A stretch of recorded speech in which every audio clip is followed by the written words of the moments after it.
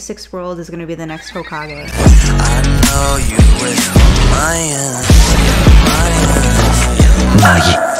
I know you Mayan, yeah,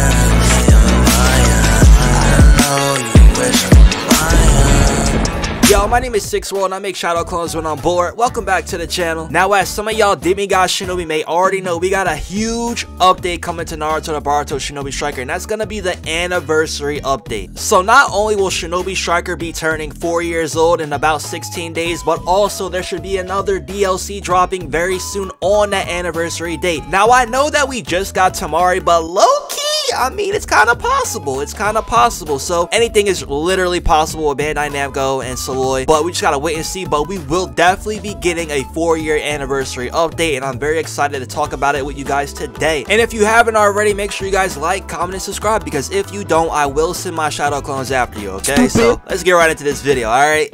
Hey! Now in past anniversary updates, we got a lot of cool things. We got the Naruto kid hairstyle, the kid Sasuke hairstyle, the kid Sasuke outfit, the kid Naruto outfit. But last year, we're not gonna talk about last year. That was uh that was uh that was that was crazy. I think we literally got like three esoteric scrolls last year for our anniversary update. It was embarrassing. Remember in Shippuden when Gaara and Deidara started throwing hands and then after Gaara got dropped off, they sat on his dead body after? I felt like Bandai Namco just dropped us all off and then just sat on our dead bodies. Like, that's how I felt. But low-key this year so far, for this Season 5 pass, all the DLC updates have been amazing.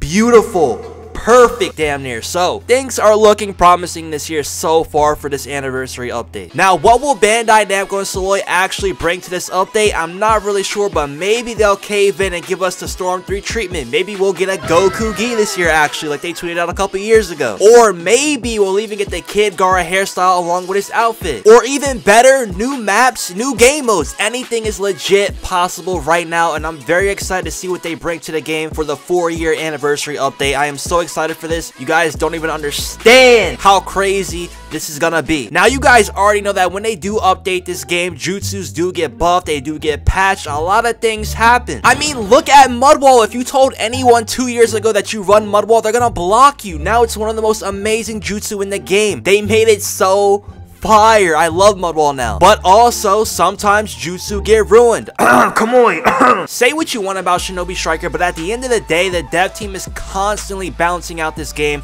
and I really do appreciate that, especially for an anime game to be updated as much as this game does. You really gotta appreciate what you have, my guy, because it's really, really cool that they are doing this still in 2022. But there is a Jutsu out there right now that I believe should get buffed in the next anniversary update, and that's gonna be the Sharingan. Now, as y'all already know, the Sharingan in the game versus in the anime are two completely different jutsu. They work completely different. Eh, Kind of. So in Shinobi Striker, the Sharingan works as a substitution and you are able to evade any attack that is directed towards you. I mean, having another substitution is cool and all, but it's a Sharingan. I want more out of that, you know? But the Sharingan in the anime...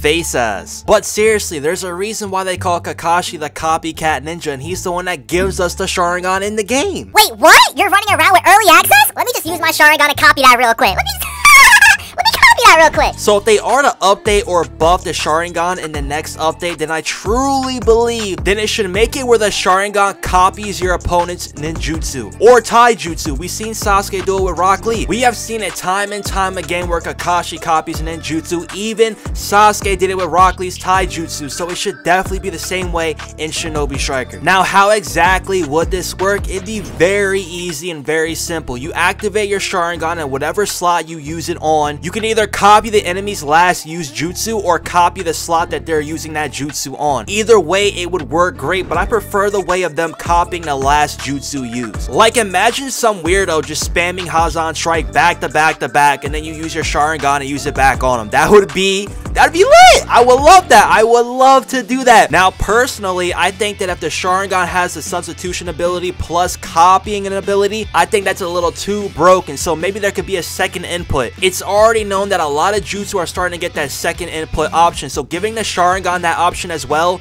to have a second input where you copy the ninjutsu of the opponent would be really good. And I think it'd make the jutsu way more better online. Not saying that it's not good right now, but just having that extra substitution isn't enough for me. I want to feel like I'm actually in the anime using a Sharingan to copy someone's ninjutsu and firing it right back at them. Something else that concerns me is how long do you have to use that jutsu when you copy it? Will there be like a 15 to 20 second cooldown before the jutsu actually resets to the Sharingan again? How long would we have to actually use that jutsu that we did just copy? Or will it just be there permanently? Me personally, just give me 15 good seconds to actually use that jutsu. If I don't use it in 15 seconds, or if I do, then just reset the Sharingan cooldown time and then we're good, you know? Because if I don't have that option, then I have to be really careful of whose jutsu that I copy because if I have it for the entire game, then, you know, that's just lame. So having the option to reset it every 15 seconds would be pretty cool. And also, like I said earlier,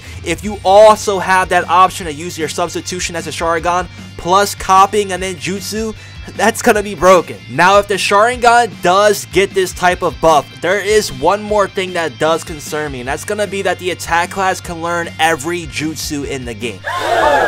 What do you mean by that? And that is scary because the attack class is one of the most versatile classes in the game since launch. So imagine one of the most OP classes in the game having the option to learn every ninjutsu that's in the game right now. That is scary to think about. But then again, Sharingan users are not somebody you want to play with. They are scary, my guy. So it does kind of make sense to make it as scary as it sounds. But then again, making one class and only one class learn that is kind of broken. It is kind of it's kind of crazy. You know what I'm saying? It, it, it's broke. It's broken. It's, it's broken, man. It's broken. It's broken. But what if they gave every class the Sharingan? Would that make up for it? Would that make it better that every class now can learn technically every jutsu that's in the game? Eh, I'm not really sure about that. Because again, everybody should be able to learn the Sharingan because there's different VR masters that have the Sharingan ability. So it does make sense to give every class the Sharingan. And giving every class that Sharingan ability might low-key balance the game even more because now you can copy other classes jutsu. That might balance it, but it also might make everybody run the Sharingan. So I'm not really sure about that, but it does sound like a pretty cool idea to add a bonus effect to the Sharingan that allows you to copy ninjutsu and taijutsu in the game. It does sound really cool. It does sound more anime related, but it might be broken. I'm just not sure, but you guys let me know in the comment section below how you guys feel about this. Do you guys think that adding that effect will break the game or balance it out even more? And do you think that every class should get a Sharingan or do you think it should only be for the attack class and attack class only? And trust when I say, I know that this is going to be a hot take, but I really want to see the Sharingan get buffed in the next update, but I want to see how they buff it. But if you guys have any more good ideas, definitely comment below and let's talk about it in the comment section below. Anyways, that being said, if you haven't already, make sure you guys like, comment, and subscribe. I'd really appreciate it. That being said though, man, Team 6, I am out. All my 6 soldiers, salute. Gang shit, my guy. Hey!